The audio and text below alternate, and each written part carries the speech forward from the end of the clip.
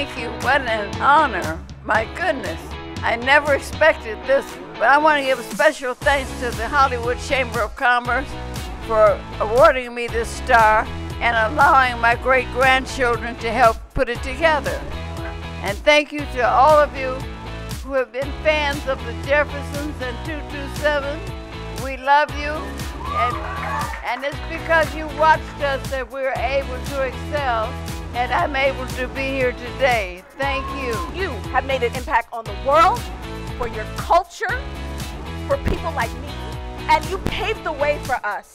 It's because of you kicking down doors. It's because of you showing us the way. And it's because of you that I am here today.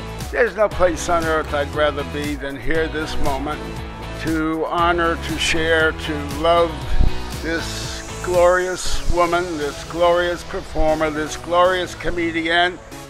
Laughter adds time to one's life. And you added time to my life, and for that I could not be more grateful.